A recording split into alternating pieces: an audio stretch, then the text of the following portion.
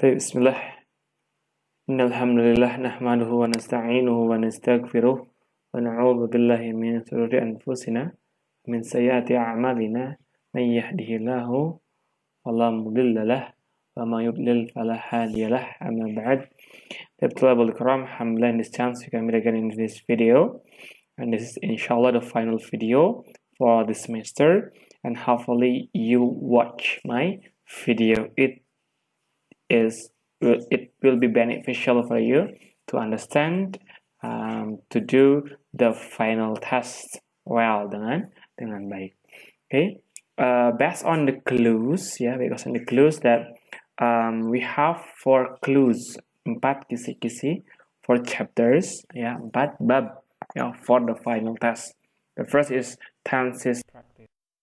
16 tenses, Anda batasi cuma 8 tenses. 4 tenses present tense dan 4 tenses past tense. Ya, yeah? okay, we are going to go directly to the example of the questions. Ini akan Anda sedikit bahas untuk di example ya, contoh dari tesnya. Sorry, the first is introduction dan ini tidak perlu. I, I don't need to explain it ya for you. So I will go directly to the uh, 16 tenses ya, to the 16 tenses. The tips ya, tipsnya when you are going to do the when you are going to analyze the sentence or the name of the tenses ya, ketika akan menganalisa nama dari sebuah tenses di kalimat tertentu, maka yang pertama kita lakukan adalah lihat kata setelah subjek. Ya, pada umumnya lihat kata subject. You have to look at the words after subject. Yeah, it will make you easy to understand or to analyze or to identify the name of the tenses. Okay, first, yeah, M, yeah, after subject, after I is M. Okay, M is the sign of present. Or is am is the sign of the present. You have to remember me. I am present. Yeah aris m is present. Always present. Yeah and then the verb ing is conti continuous. So that's really easy. Present con continuous. Yeah okay. Present continuous tense Lalu juga sun arose. Ya, oke, setelah itu verb kedua. Verb kedua setelah subjek langsung diikuti oleh bentuk kedua, maka sudah pasti ya, that's definitely past simple ya. Itu sudah pasti adalah past past simple. Nah, past past simple. Oke, lalu setelah kata subjek itu verb pertama itu dapat dipastikan itu juga present simple. Ya, present present simple. Kenapa ini ada S-nya? Karena subjeknya tunggal. Jadi present simple adalah satu-satunya tenses yang kata kerjanya ditambahkan S atau E S ketika subjeknya tunggal orang ketiga hua atau hia Gitu ya. Nah, itu. Head. Nah, setelah subjek head. Head ini adalah dua dari have atau has. Ya, has atau have itu bentuk keduanya adalah had. Bentuk ketiganya pun had, ya. Karena di sini kenapa ini bentuk kedua dapat dianalisa? Karena dia langsung setelah subjek. Nah, maka had di sini adalah bentuk ke kedua, maka past simple. Procrastinate bentuk pertama. Langsung di sini setelah subjek. That's why that is present simple.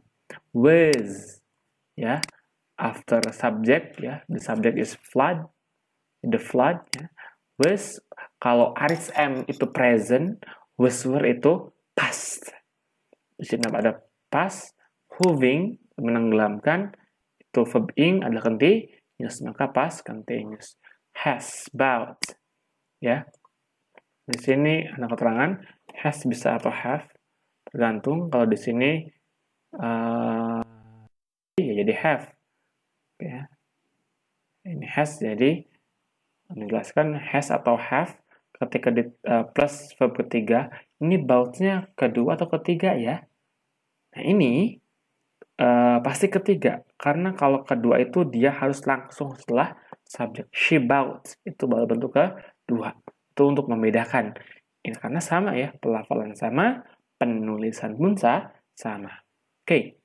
Maka di sini has atau have bentuk bentuk ketiga ya, bentuk ketiga bisa dari verb, bisa dari to be. Di sini bentuk ketiga dari verb, maka adalah present perfect. Ya. Oke. Okay. Kalau had bentuk ketiga adalah past perfect. Has have present, had past. Ya. Aris am present, was were past has has bentuk ketiga present perfect. Had ketiga uh, tiga adalah past perfect. Ya. Oke di sini kalau di sini adalah past perfect ya. Have been ini past eh sorry ini present perfect ya.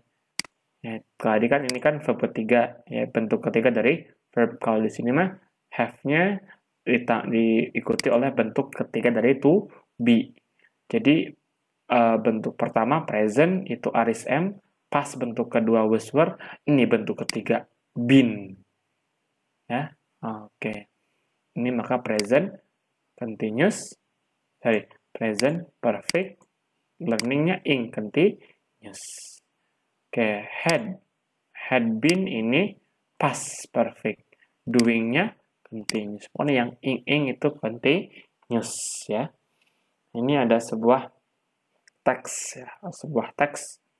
Uh, sorry teksnya di bawah. Ini sebuah. Tentang recount ini tentang personal experience. Uh, apa namanya? Uh, pengalaman pribadi ya. Silahkan dijawab ini pertanyaannya. Ya where do we can visit lembah pelangi waterfall di mana kita bisa visit mengunjungi Jungi. Ya, di mana di sini? Ya, silakan dijawab. Who went? Siapa yang pergi? Ya, who went? Siapa yang pergi ke lembah ke uh, air terjun lembah pelangi? When did? Kapan? Did writer and his beloved wife, penulis dan juga istri penulis. Di sini kan kenapa?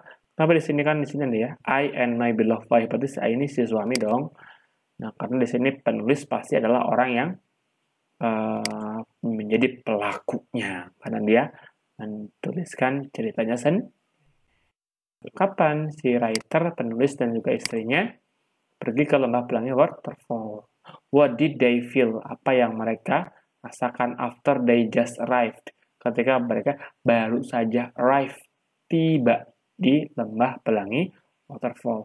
What factor? Faktor apa yang membuat lembah pelangi waterfall peaceful and relaxing? Ya, sangat uh, tenang, damai dan juga uh, apa namanya membuat relax, ya relaxing. Nah, oke okay, itu silahkan dijawab. Nanti silahkan jawab. You have to answer that questions in the Google form. Okay. The next is narrative text. Uh, narrative text.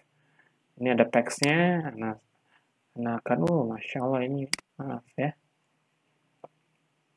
Hmm, oke. Oke. Oke. Oke. Oke ya kita ikutin dulu ya. Ada sebuah pertanyaan ada sebuah cerita biasa cerita fiktif ya. Cerita fiktif. Nah ini silahkan. What separated ya? Uh, apa apa yang memisahkan between one village to another in long time ago in the new territories? Nah, jadi apa sih yang memisahkan antara desa satu dengan desa yang lain? Ya beberapa waktu yang lampau ya atau di zaman dahulu kala in the new territory Toris. Apa sih biasanya yang bilang misalkan itu? Who was Ahtim? Siapa sih Ahtim ini? Nah, Oke. Okay. who walk siapa ber, yang berjalan in front ya di depan ketika mereka sedang di forest hutan oke okay. how could the wolf catch Ahtim bagaimana bisa si wolf serigala serigala-serigala catch ini kan bentuk jamak dari wolf ya mengangkap Ahtim the woman gave the woman gave her son to wolves because ya perempuan itu memberikan anaknya kepada si serigala karena nah, nanti jawab di Google Google Form. Okay, maybe that's all from uh, this video, this short video, but it is the highlights, yeah, the example of the questions that will be a final test questions. Yang akan menjadi contoh uh, apa namanya final final test. Ya yang ini sana no final. Untuk filenya nanti insya Allah akan kirim ya. Untuk wordnya akan kirim ke antum sekalian. Oke? Okay? maybe that's all from this meeting. If you have if you have questions just contact me privately ya, silakan japri atau telepon pribadi ya kalau memang ada yang kurang paham okay, maybe that's all from this meeting ya yeah, we finish our meeting ya. Subhanaka Allahumma wa bihamdika asyhadu an la ilaha illa anta astaghfiruka wa atubu ilaik. Assalamualaikum warahmatullahi wabarakatuh.